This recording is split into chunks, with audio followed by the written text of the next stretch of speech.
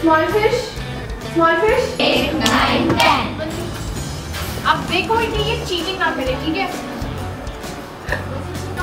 big fish big fish Thirteen, fourteen, fifteen, sixteen, seventeen, eighteen, nineteen, twenty. Small fish small fish big fish big fish shawl change कर लिया और चप्पल change कर लिया और hair band हाथ में भी और कम बोल तो किसको कोई मिलेगा? Big fish small fish small fish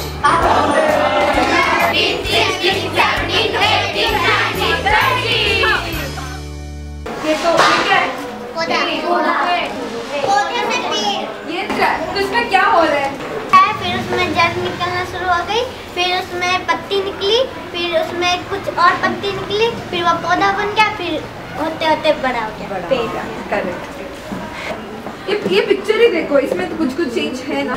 ये बाया यहाँ इसलिए नहीं बोल रहे। ये कोई वो कोई वो कोई प्रॉब्लम नहीं है। वो वो कान वो कान तो किसको किसको पता है? मैंने उनको भगा दिया। अब आराम से बोलो। ठीक है। हाइट बढ़ता है, कोई नहीं बोलता, चुप रहो। हमारा वेट बढ़ता है, ये चौड़ाई बढ़ जाती है हमारी।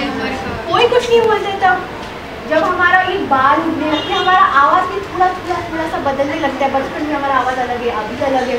उसके बारे में कोई कुछ नहीं बोलता। उसके बारे में कोई बोलता कि शू, बात मत करें इसके बारे में। हमारे शरीर में कितना कुछ हो रहा है, पर उसके बारे में कोई नहीं बोलता पर इसके बारे में मुझे घर जाके एक सवाल आया कि हमारे साथ ये क्यों हो रहा है हमको क्यों बोला जाता है चुप रहने के इतना शर्म क्यों आता है बात करने में? सबको कि, किसको नहीं पत समझ आ रहा है कि दीदी क्या किसके बारे में क्या क्या क्या, बा, क्या बात कर रहे हैं? डेट के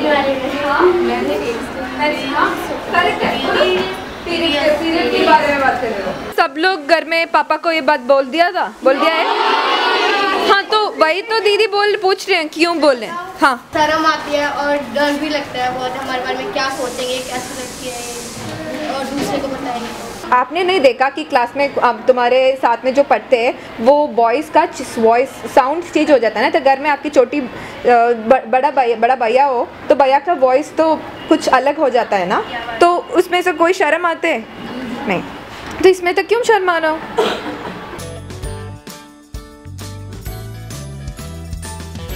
मुझे जब पहली बार आया ना तो मैं भी सातवीं कक्षा में पढ़ रही थी। और पुरुषों में कोई अंतर नहीं होता। है हमारा ये कर्तव्य बनता है कि हम उनकी इज़्ज़त करें।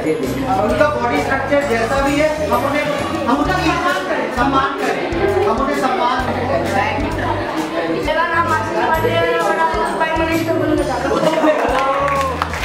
महिलाएँ हैं तो हमारी पीढ़ी पीढ़ी भी है पीढ़ी तो